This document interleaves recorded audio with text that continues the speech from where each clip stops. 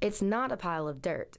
It's an imported fire ant mound, the roof of a complex series of tunnels built by master architects, the fire ant. There are many tunnels underneath a typical fire ant mound. By building a mound in an open sunny spot and then digging tunnels, the mound absorbs the sun's heat, which is distributed to all of the colony.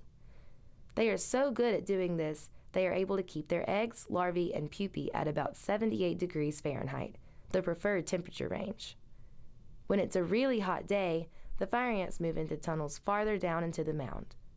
Their tunnels are so vast that they have been known to build exit tunnels or foraging tunnels as far as 100 feet away from the colony.